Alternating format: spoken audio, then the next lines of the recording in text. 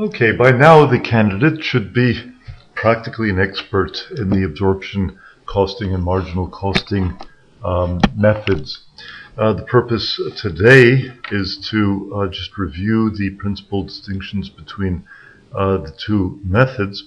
Um, if one goes back over the work that we did in the discussion concerning the profit and loss uh, formats between the two, one can see that the absorption costing is focusing on grouping the both the variable and fixed production costs. Remember the fixed overhead costs of production uh, in, in combining all of those on a per unit basis to derive a gross profit figure and to look at the variable, the, the non-production costs, both variable and fixed, as a separate item below the gross profit line in order to reach a net profit. The marginal costing has a different way of grouping the costs.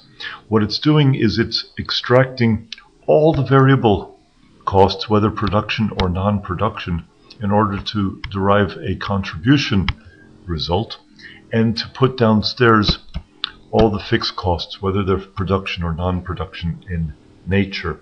So we can just see what we're doing here is we're, we're carving up the cake in uh, different ways. But there's more to the story here in terms of reconciling, reconciling the two methods. Um, one will notice that the profits uh, figures that were calculated under the absorption costing, the marginal costing, um, differed one from the other. In the previous scenario that was covered, now let's just go back over the scenario that was uh, covered last time and make a comparison of the results. We said that under the profit and loss for year one marginal costing method we had a profit result of $20,200 and for the year one when we did the same thing profit and loss for the absorption costing profit came out higher, 20,950.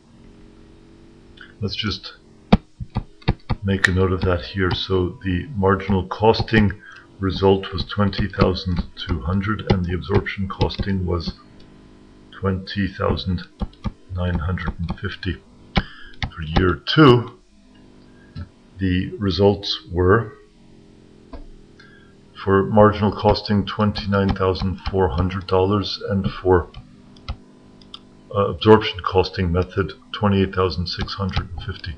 Now I'm not so much interested in the evolution or the change in marginal costing uh, profit levels from year one to year two. What is interesting is actually the comparison is for a given year.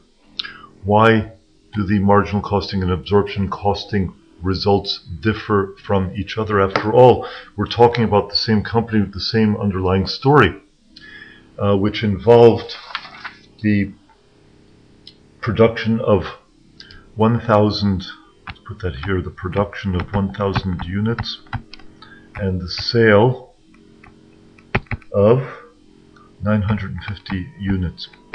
And therein lies the answer that explains the difference between these two methods what happens, and you probably will have uh, been reminded of this in uh, from from the previous paper and going over your notes.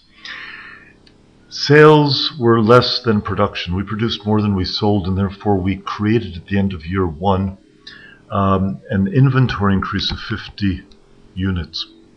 Now, that 50 unit increase in the inventory, that inventory valuation uh, did not include fixed overhead costs, production costs, under the marginal costing system, but it did, the inventory of 50 units did carry with it some of the fixed overhead costs when we use the absorption costing system. In other words, those 50 units, because they were also absorbing $15 of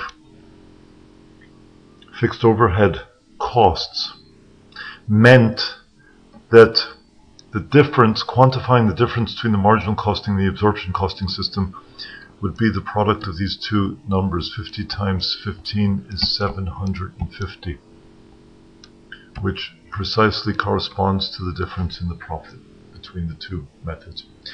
So what we can say is that if the inventory increases in a given period as it did in year one, then the absorption, the profit under the absorption costing system will be greater than under the marginal costing system. And that's due to the fact that a portion of the fixed overheads, of those $16,500 of fixed overheads incurred in year one, they were fully recognized under the marginal costing system, but they were not fully reflected under the absorption costing system. The absorption costing uh, absorbed um, in the in the profit and loss only the amount that was sold and what went into inventory contained 50 units times $15 worth of fixed overheads. In year two, you will recall, we reduced the inventory back down to zero. In other words, the inventory went down by 50 units again. We're going to have the same effect. 50 times 15 gives us 750, and that's going to explain the difference between the marginal and absorption costing results. One can verify that fact here. Only in this case, the absorption costing result profit will be less than the corresponding marginal costing. So if the inventory level decreases, the profits under absorption costing system will be smaller than under marginal costing. So now we have effectively accounted for uh, the difference between the two methods. Of course, the special case if inventory level does not change, then the profit calculation for both methods will be equal to each other. And one can go through um, numerical examples and work out the profit and loss statement under both the marginal and the absorption costing systems to uh, confirm this. Okay, now we want to uh, move on to some other um, costing techniques. Uh, job costing and batch costing has been encountered in the uh, previous paper MA1 for uh, management information and uh, is just requires some review by the candidate. Process costing is a bit of a tricky area, a trickier area, let's say, um, a little bit more involved, and therefore want to spend a little bit of time just to um, review our understanding of process costing as a technique applying to the mass production of standardized identical products that are moving through a series of processing stages. And uh, in order to capture this, the uh, T accounts are perhaps the best way. One can see here on the left side of the T account would be the um, units that are input into a given process, in this case process B, and we move through process B, and the right side of the T account will be the output from process P, B. In, in other words, the items which will be moving on to process C. So let's just look at this uh, example because we need some numbers as a basis for our uh, discussion. Um, the T account here is very straightforward. So from process A, we're bringing, we're introducing into process B 1,000 units. They've already um, accumulated production costs of $20,000. And now as their journey proceeds through process B, they will be adding additional costs in the form of materials, labor, and overheads adding up to $10,000 so that at the end of process B, these 1,000 units will move on to process C, having accumulated now a new total of $30,000. And one can see here that the T account is set up in such a way as to balance the number of units and to balance the dollar cost figures.